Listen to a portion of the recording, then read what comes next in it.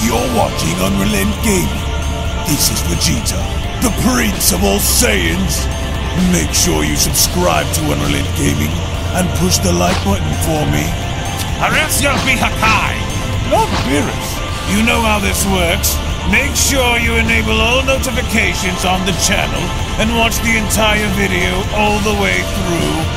And don't forget to follow UnrealEnt Gaming on both Instagram and Twitter. On with the video.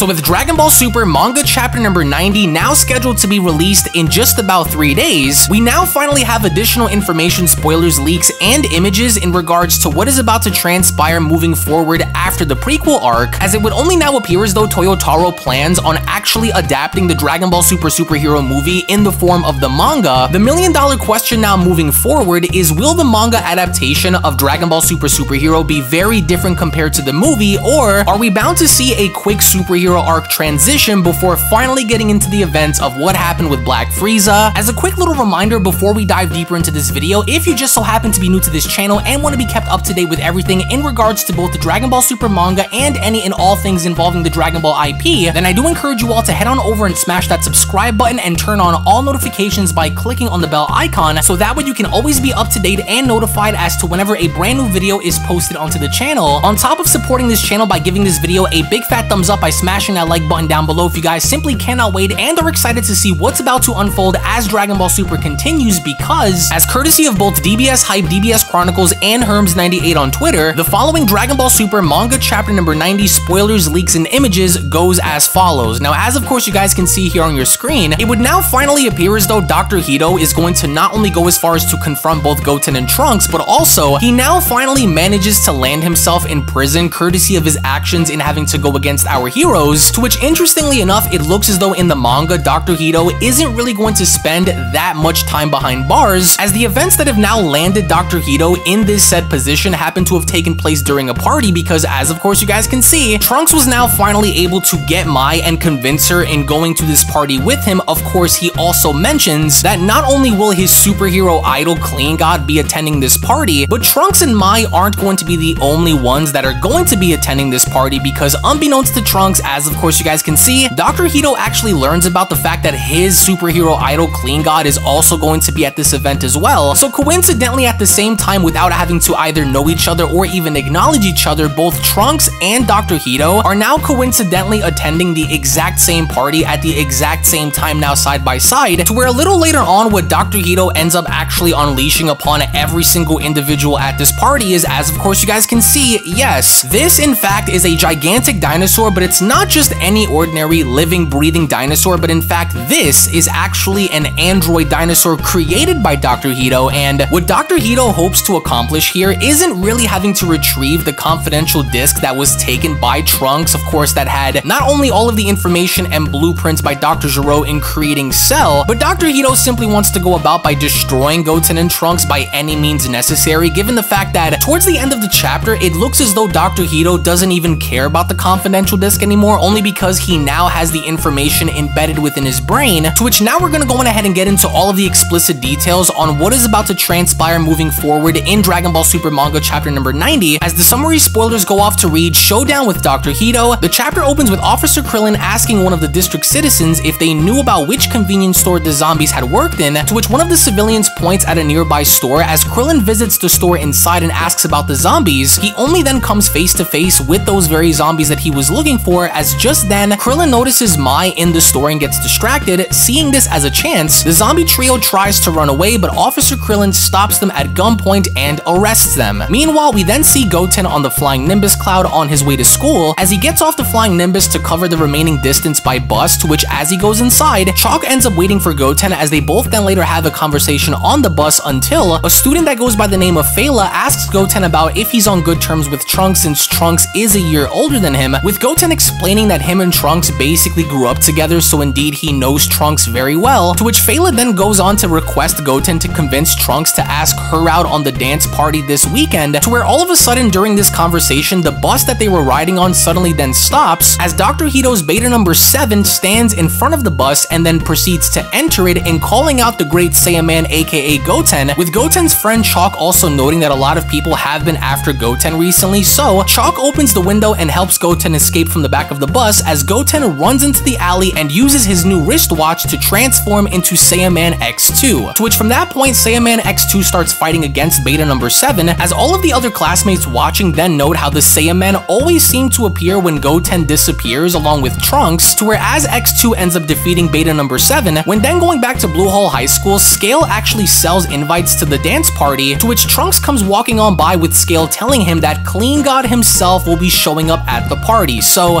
Then ends up joining into the conversation as she notices something and then asks Trunks if he wants to join her to the party as Trunks of course says yes. Then we see Mai looking at a spy bee that's flying nearby as of course this spy bee could be interpreted as being Hachimaru from the superhero movie as the bee now goes as far as to intercept and listen to the entire conversation. Dr. Hedo himself ends up getting very excited upon hearing that Clean God himself would actually be at this party so Dr. Hedo from there actually decides to drop the mission in finding Dr. Gero's disc and instead now decides that in fact he will be going to this upcoming party, with Alpha 12 noting that you're only allowed entry if you're able to go with a female student, as back in school Trunks ends up telling Goten that he's happy that he didn't have to reveal his Saiyaman identity to Mai, as things are now beginning to go smoothly with her. Trunks then ends up leaving Goten as he needs to buy some clothes for this party, which is why he inevitably also turned down Goten's offer to play video games as well, to which from there Goten begins to wonder to himself as to what kind of answer he's going to give to Feyla. Mai then suddenly ends up pulling Goten into a corner as she sees the spy being near him, with Mai then informing Goten that in fact they're being watched, to where not only does Mai suspect that the bee is listening into their conversation, but she also suspects that more androids are watching and listening in, with Goten then having to realize how they knew where Goten was and sent their androids after him, i.e. the bus, as Mai now begins to remember Beta 1's words that he said that he was made by Dr. Hedo, so to which as soon as Mai ends up looking up who Dr. Hedo is and now discovering that in fact he is someone that is responsible in making androids, since nobody from that point knows where Dr. Hedo's real hideout is, Mai had decided to lure him in by mentioning that Clean God will be attending this dance party knowing the fact that Dr. Hedo is a big fan of him, as Goten is shocked to hear that all of this was a part of Mai's plan to begin with in setting this party up by bringing Clean God there, to which on the day of the actual dance party, Goten ends up arriving with Feyla, with both Trunks and Mai also arriving at the same time. Trunks then ends up depositing the big disc bag to the staff and asks them to keep it safe for him, as all eyes seem to be on Mai as she's wearing battle armor instead of a traditional dress, as Trunks then asks Mai to come with him to the first row to watch Clean God's appearance on stage, but Mai says that she wants to watch it from the position that she's in, as Goten then ends up asking Mai if Hedo would really show up there, with Mai being very sure of it. Unbeknownst to Trunks then, as he ends up walking towards the first row, he actually ends up standing side by side with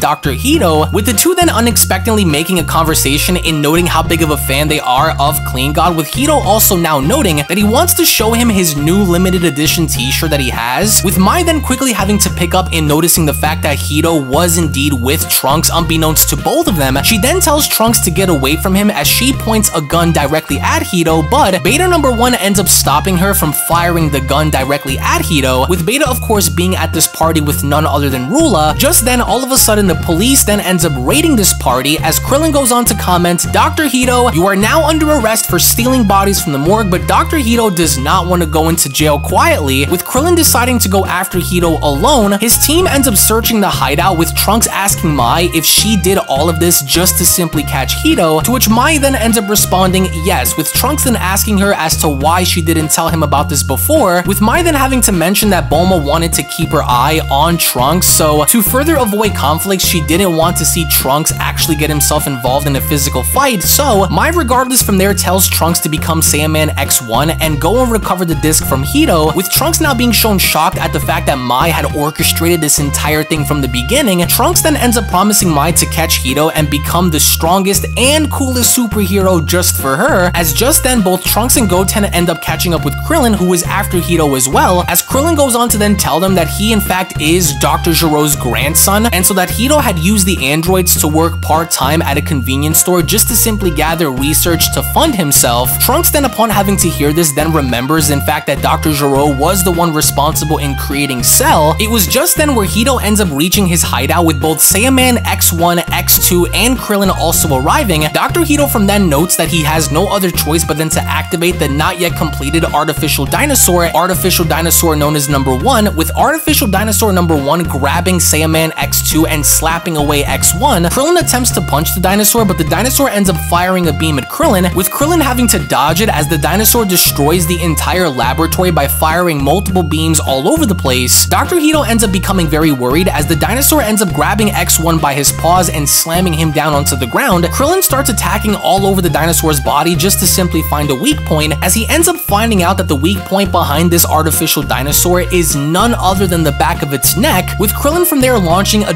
Destructo Disc in which as the Destructo Disc made contact, the dinosaur from there was unable to move and now giving Goten and Trunks the opportunity that they needed in order to finally destroy the dinosaur once and for all, in which they ended up doing by using a move called the Double Hurricane Attack by making a hole through the dinosaur's body. Dr. Hedo then begins to get worried as he does not want to see his dinosaur be destroyed. After finally being shown defeating his artificial dinosaur, Krillin ends up cuffing Dr. Hedo and finally makes the big arrest by also taking away the disc that Dr. Hedo had retrieved, to which as they only end up opening it up to find that there is in fact no disc there, the only item that remained in the backpack upon having to open it was in fact an autograph that featured both Hedo and Clean God, with Krillin then going as far as to ask as to what happened to the disc, with Hedo responding that in fact this was a pain in his butt, so he ended up destroying the disc entirely, and that he really doesn't need it anymore given the fact that the data is now stored in his brain. However, Dr. Hedo later notes that he is interested in Dr. Gero's research, and that he just so happened to keep the disc just in case it was of perfect size to get an autograph from, so a little later on Goten finds the destroyed disc, and so Dr. Hedo and all of his androids were later arrested at the request of the zombies' families. Their sentences were reduced as they simply wanted them to come back home after the fact, so the only crime that Hedo was in fact charged for was to steal the corpses from the morgue, to which led on to reduce his sentence to a mere three months in jail, in which by the end Hedo does intend to continue his research from the prison remotely, as he later launches Hachimaru, which is a much better version of his original spy bee used in Blue Hole High School, with the chapter having to come to a close as Hedo makes a vow that one day he will in fact create the strongest androids in the world. So, to which I want to go on ahead now and get your thoughts down in the comment section below, not only about how you guys personally feel about this upcoming manga chapter, but knowing the fact that now it seems as though Toyotaro is going to be adapting all of the fights involving the Gammas, possibly even Orange Piccolo and Beast Gohan versus Cell Max, to which interestingly, we haven't seen this be done before outside of probably Battle of Gods, in which not only did Toyotaro go as far as to skip over Resurrection F and even Dragon Ball Super Broly, but it would now seem as though the upcoming manga chapter is going to be centered around Piccolo discovering the Red Ribbon Army and trying to do everything within his own ability to stop them, just like we've seen go down in the film. So again, I want to go ahead and get your thoughts on how you guys personally feel about this movie having to be adapted through the form of the manga. So again, you guys don't want to miss out on everything that's about to transpire in this upcoming manga chapter on February 20th. So again, thank you all so much for watching to where if you guys are excited and cannot wait to see how everything is going to unfold, possibly even differently compared to the movie, then I do encourage you guys to give this video a big fat thumbs up right now by smashing that like button down below if you guys are also new to the channel. Then I also encourage you all to go on over and smash that subscribe button and turn on all notifications so that way you guys never miss a single video that is posted onto the channel. Tune back in for more. Thank you all so much for once again being here. And with that being said, I'm going to be seeing each and every single one of you down in the comment section below and in the next video. Take it easy, everybody, and have a great day.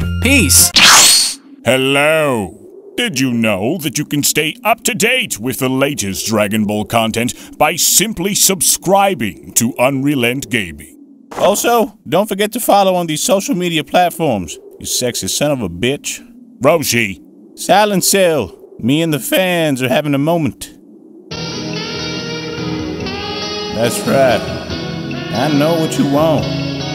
Extra long, thick Dragon Ball content. Quality reviews with flawless editing. Yeah. Yeah, you'd like that, wouldn't you? You dirty bitch. Roshi, the fuck? God damn it, I need them to subscribe, Cell. And we're demonetized. Yeah, screw it. Let's cut to the video.